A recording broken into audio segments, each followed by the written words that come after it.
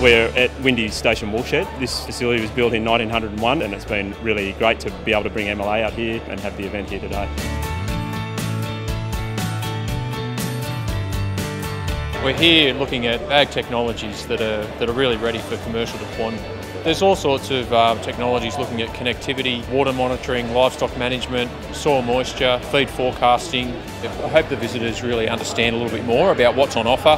How does the technology support producers to make uh, more informed decisions, predict production performance, reduce the, the labour intensity of, of checking water and water reliability.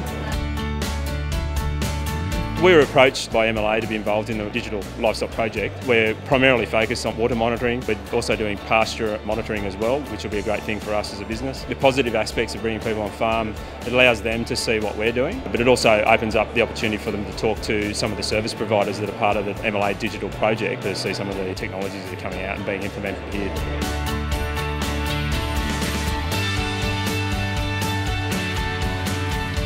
I'm from Tasmania, so this is completely different to me. So it's quite amazing to see how other people are doing it and just how the drench gun can be matched to the scales. I thought that was quite interesting to calibrate it so that each animal gets the right drench dose. I think that's quite innovative.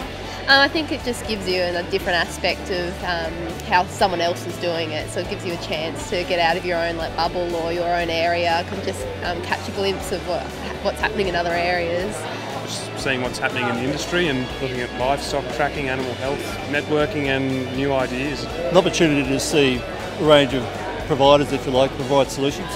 Water monitoring, tank monitoring, pasture monitoring, those sorts of things. Basically, I'm a sort of small producer, and I think the opportunity is to get a, a broader picture of what's available, what's out there.